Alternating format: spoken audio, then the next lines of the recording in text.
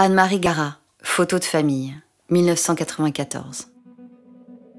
La narratrice décrit des photographies. Par exemple, une porte ouverte sur un jardin. L'intérieur de la maison est sombre, on y voit gouttes.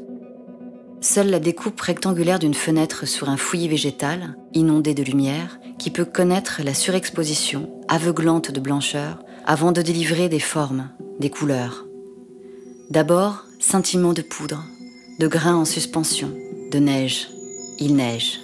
Un dedans, un dehors, la tension très grande entre ceux dedans, ceux dehors. L'appel de la profondeur.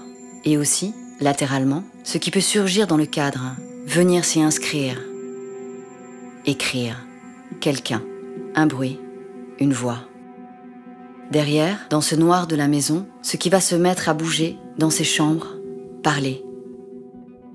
Par exemple, une fenêtre brouillée de pluie, un orage d'été, un baquet d'anguilles abandonné à l'eau du ciel, ou bien cet homme assis sous une lampe. Il fait nuit. Il me tourne le dos. Il écrit.